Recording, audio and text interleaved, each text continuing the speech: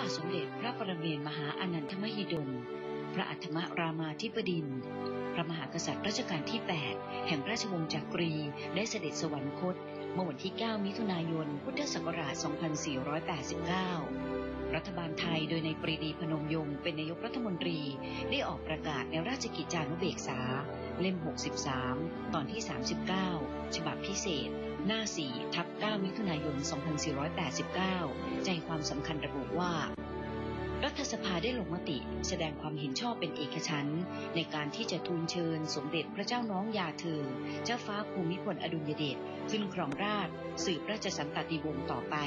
ตามความในรัฐธรรมนูญแห่งราชอาณาจักรไทยมาตรา 9แต่เนื่องจากขณะนั้นพระบาทสมเด็จพระเจ้าอยู่หัว ภูมิพลอดุลยเดชยังมีพระราชกิจด้านการศึกษา จึงเสด็จพระราชดำเนินไปศึกษาต่อ ณมหาวิทยาลัยโลซาน แต่เปลี่ยนสาขาจากวิทยาศาสตร์ เป็นสาขาสังคมศาสตร์ นิติศาสตร์ และรัฐศาสตร์ขณะที่พระบาทสมเด็จพระเจ้าอยู่หัวประทับรถพระที่นั่ง เสด็จพระราชดำเนินไปยังท่าอากาศยานนานาชาติดอนเมือง เพื่อไปศึกษาเพิ่มเติมที่สวิตเซอร์แลนด์ส่งได้ยินเสียงราษฎรคนหนึ่งตะโกนว่า ในหลวงอย่าทิ้งประชาชน จึงทรงนึกตอบในพระราชฤทัยว่า ถ้าประชาชนไม่ทิ้งข้าพเจ้าแล้ว ข้าพเจ้าจะทิ้งประชาชนอย่างไรได้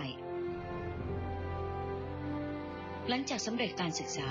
พระบาทสมเด็จพระเจ้าอยู่หัวเสด็จนิวัตรพระนคร และทรงประกอบพระราชพิธีบรมราชาพิเศษในวันที่ 5 พฤษภาคม พุทธศักราช 2493 และมีปฐมบรมราชโองการว่า เราจะครองแผ่นดินโดยธรรม เพื่อประโยชน์สุขแห่งมหาชนชาวสยาม ฐมบรมราชโองการเป็นที่ประจักษ์ชัดว่า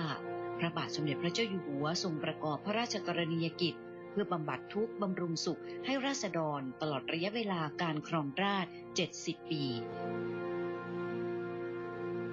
ปัญหาแรก ๆ ก็คือเรื่องของอการอาชีพนะแล้วก็การ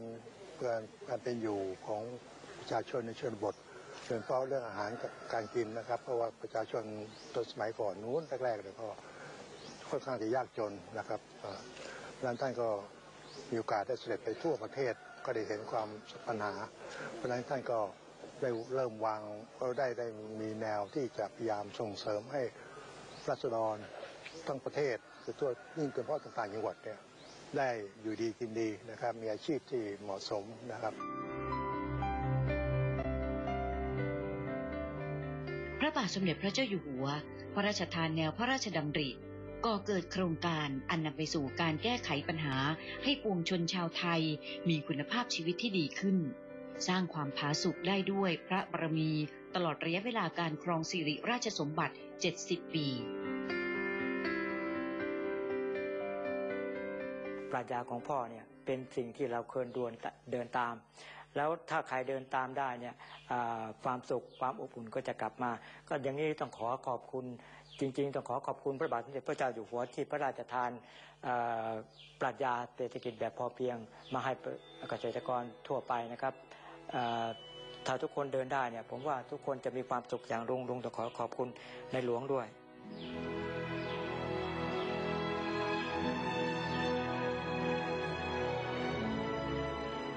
ระมหากรุณาธิคุณของพระบาทสมเด็จพระเจ้าอยู่หัว นับตั้งแต่เสด็จเถลิงถวายระยะราชสมบัติ จบจนปัจจุบันเป็นเวลา 70 ปี